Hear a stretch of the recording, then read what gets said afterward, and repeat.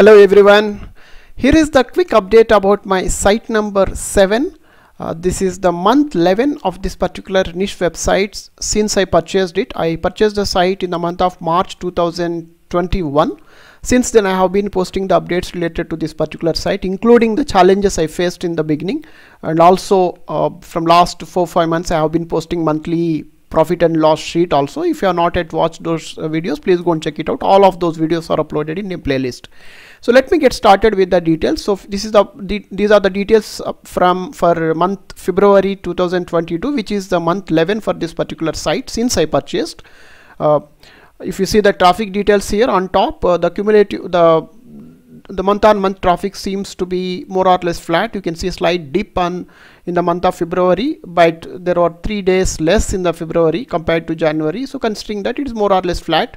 And if you see then the uh, the graph below there is uh, about 10% uh, dip in in terms of page views uh, some kind of a, uh, temporary volatility here and there with respect to traffic. That's about the traffic details.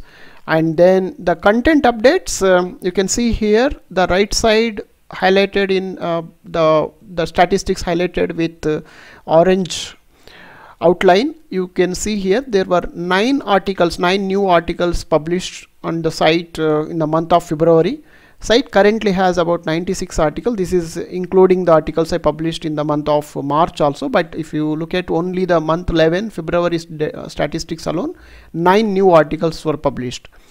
And coming to the financials uh, the site made $385.55 in the month of February. You can see the bottom most uh, row the last row.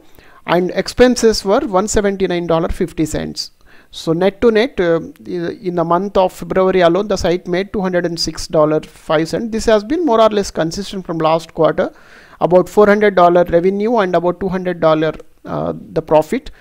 But uh, from next month I the March also I am getting some content written. And April there will be few articles but that would be the end of this particular site with respect to investment. Um, from May onward there won't be any expenses for this site because more or less I am done with the uh, with publishing content. I will anyway keep you posted. For this month alone $200 profit. And if you look at the cumulative total expenses so far are $1760.99 about $1761 total revenues are about $2878 so if you look at the cumulative profit and loss so far the site has already made $1117 net profit. Um, so far that's the the financial summary. And this is just a represent graphical representation of the same data. You can see the the gap between green and red line increasing as uh, there is uh, the profit gets accumulated month on month.